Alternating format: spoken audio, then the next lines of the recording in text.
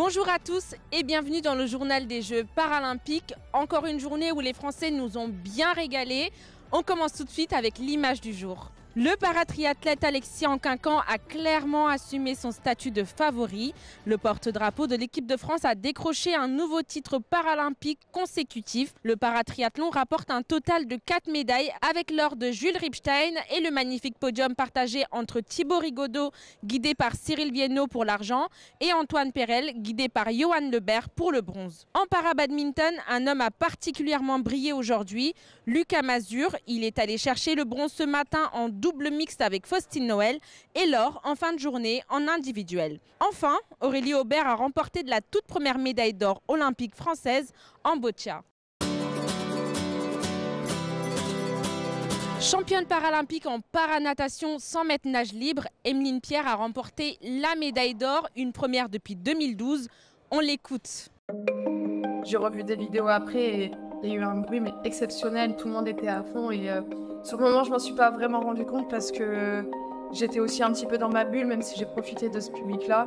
Et euh, pendant la course j'entendais pas tout ce bruit mais en voyant les vidéos euh, c'était un truc de malade et euh, au moment où je touche le plot et où je vois cette lumière, je me rendais pas compte qu'il y avait un temps, temps de brouhaha à côté de moi. Là l'objectif aujourd'hui c'est réaliser ce qui s'est passé hier, partir un peu voir mes proches, partager ce moment avec eux en fait tout simplement. Et après, euh, j'aurai trois jours pour vraiment me remettre dans le bain euh, et me concentrer sur les deux dernières courses qui me restent. Le sando, je le vois plus comme du bonus, c'est quelque chose où je peux vraiment m'amuser. Mais le relais, on a vraiment quelque chose à jouer et j'ai envie de tout donner pour l'équipe. Les médailles collectives, c'est vraiment chouette de pouvoir partager les médailles avec euh, l'autre binôme français présent sur la course. Ça fait deux ans qu'on se tire les uns les autres vers le haut et là on a concrétisé tous les quatre pour, pour faire euh, ce, beau podium. Déjà, avoir euh, ramené une médaille de- des Jeux de Paris, euh, c'est unique, hein, c'est un événement exceptionnel. Trois ans de, course, de préparation pour cette course-là, avec un autre tandem français en plus qui, jouait les avant-postes. Et là, quatre sur le podium, c'était incroyable. Et puis profiter de tout ça en plus durant toute la soirée, tous les quatre, je pense que ça va prendre un tout autre sens et on est vraiment heureux de ça. Comme disait Johan, ça fait trois ans qu'on travaille pour, cette course, cette médaille. Et euh, bah, les émotions, elles étaient décuplées parce que aussi on avait beaucoup de monde au bord de la route pour nous encourager, la famille, les amis, euh, les gens avec qui on s'entraîne au quotidien. Et, euh, bah, voilà, c'est l'aboutissement du, comme disait Antoine, on a fait le job, c'est l'aboutissement du travail bien réalisé. C'était vraiment une course pas facile, malgré que le monde nous ait porté, c'était une course très exigeante et bah, on a su relever le défi. Je pense plutôt bien. C'est vraiment exceptionnel d'avoir euh, nous quatre sur le podium. Donc euh, je pense que c'est tout le travail qu'on a mis en place et bah, ça a porté ses fruits. Donc euh, je suis très très heureux de partager le, le- podium avec Cyril et Thibaut. C'est des gars en or et, et voilà, je les connais depuis un petit moment. Je faillote un petit peu. Mais bon, dans le contexte. Non, c'est des potes et je suis trop content d'être avec eux. quoi. C'est cool. C'est l'aboutissement d'une. euh, J'ai pas ma carrière parce que je compte la terminer maintenant, mais, euh, mais c'est l'aboutissement quand même de. je deux années euh, qui ont été challengeantes. Voilà, après Tokyo, je finis quatrième où j'ai vraiment eu le burn-out du sportif derrière. J'étais enceinte et, euh, j'ai très vécu cette quatrième place. Je m'étais promis, j'avais promis mon bébé que je portais à Tokyo que je viendrais chercher cette médaille à Paris pour, pour elle. Et, quand elle est née, euh, je dit c'est sûr, je vais à Paris pour, la- te la chercher, ma chérie. Et je suis heureuse aujourd'hui d'avoir réussi. Et ça, je pense, enfin, j'espère avoir fait passer le message. En plus, ce jour des Jeux, au monde entier. euh, bah, qu'on peut revenir après une grossesse et même à haut niveau. Et qu'on peut tout concilier, parce que moi j'allais encore ma fille. Et j'ai pu l'allaiter quelques heures avant mon concours, donc c'était possible. Boccia, Aurélie Aubert a remporté la plus belle des médailles. Ce matin, Mathis Devaux vous amène à la découverte de cette discipline. Vous en avez forcément entendu parler de la boccia, mais alors qu'est-ce que la boccia, ce sport uniquement paralympique? Nous sommes allés poser la question aux visiteurs du Club France. C'est un peu une pétanque, mais c'est une pétanque, euh, je dirais, de salon. Oh joli Et ben qui c'est qui mène? Ce sont les, les femmes, les bleus en l'occurrence. On a fait, euh, on fait pas de parité, on a séparé les, les couples. Et pour le moment, elle, elle, elle domine. bleu, c'est ça Exactement. Exactement, Je pense bleu. que c'est bleu. En vrai. En vrai, je pense que c'est bleu. Et on découvre un sport euh, intéressant pour le coup, un peu à la pétanque et euh, pour se renseigner un petit peu sur le sport derrière en, l'occurrence, on a vu que même pour les personnes plus âgées, c'était intéressant, c'était moins traumatique. C'est un sport qui n'est que paralympique, qui n'existe pas aux Jeux olympiques. C'est vraiment un sport Oh. adapté pour des personnes en situation de handicap. Et au niveau des règles, c'est assez simple, on nous a dit. Au niveau des règles, c'est un peu comme la pétanque, c'est le même principe. Au lieu que ce soit le cochonnet, c'est le jack. Il faut être le plus près possible et mettre un maximum de balles près du jack. Ah bah l'exigence, c'est la concentration, savoir estimer euh, la distance des balles. Toutes les balles sont de textures différentes. Il y a des balles qui sont pour placer, il y a des balles qui sont pour dégommer. Il ne suffit pas de chercher à les prendre le point tout de suite, mais il suffit de placer ces balles justement pour être sûr de faire le point final. Aujourd'hui, c'est une journée exceptionnelle en France puisque nous avons pour la première fois une championne paralympique en boccia et qui plus est en médaille d'or. C'est Aurélie. Bravo Aurélie.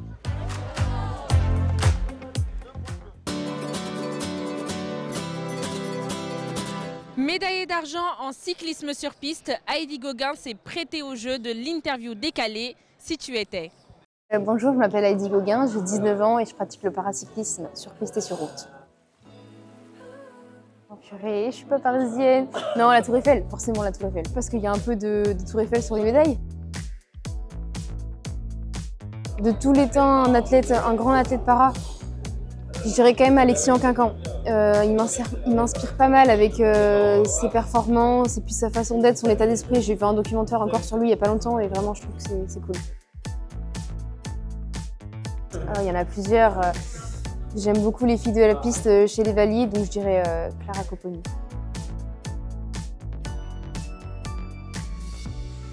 Je dirais Clarisse.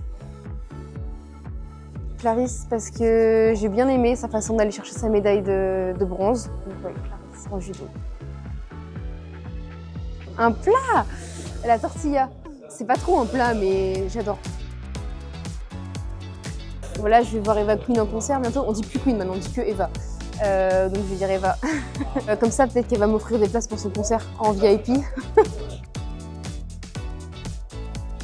Un film Titanic. Titanic sans, sans hésiter. Oh, j'adore. C'est le seul film que je peux regarder en entier. Sinon, les autres, je suis obligée de faire des pauses, c'est trop long et tout. Le cyclisme sur piste. Pas para, mais valide. Qu'on fasse évoluer un peu le sport para et qu'on dise que ce sont des belles performances et pas forcément que ce sont des athlètes tandis qui font du vélo. Je fais 17 heures d'entraînement environ par semaine et c'est pas, pas moins, c'est pas plus que les valides. Et puis voilà, c'est ce qui permet de réussir aussi. Donc euh, j'ai envie que les gens prennent conscience de ça. Quoi. Salut Sport en France Triple champion paralympique en tennis fauteuil, Stéphane Houdet rêve d'or tout simplement ici à Paris. Et pour ça, il a fait appel au dernier vainqueur français de Roland Garros, Yannick Noah. Moi j'ai découvert euh, l'équipe euh, au mois de décembre. Stéphane Houdet m'a demandé. Voilà, enfin, un pote qui t'appelle, il dit tiens tu viens euh, nous donner un coup de main. euh.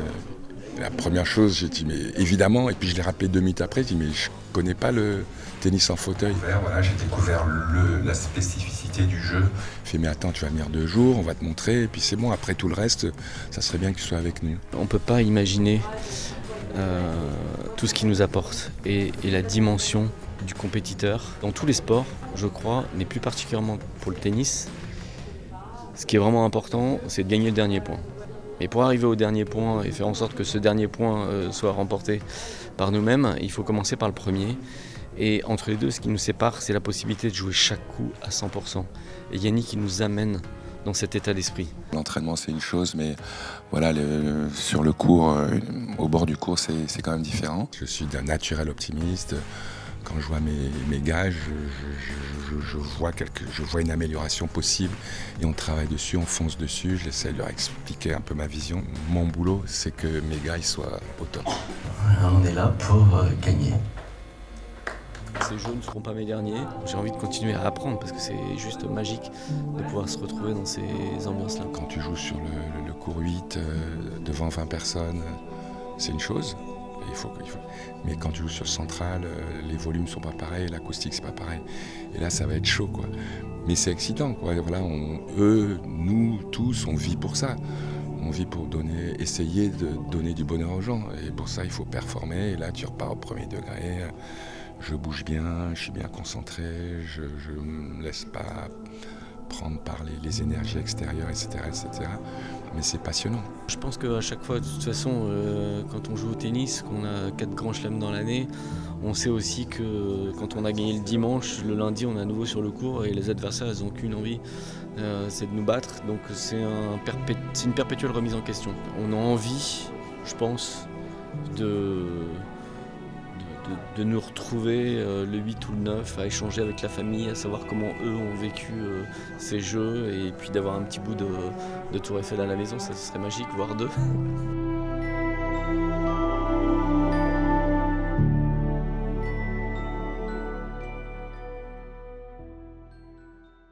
Le journal des Jeux paralympiques, c'est bientôt terminé, mais avant, voici le tableau des médailles avec la Chine qui est toujours en tête du classement avec 85 médailles, dont 42 en or. Le Royaume-Uni et les États-Unis complètent le podium et la France est quant à elle cinquième avec 33 médailles, dont 10 en or.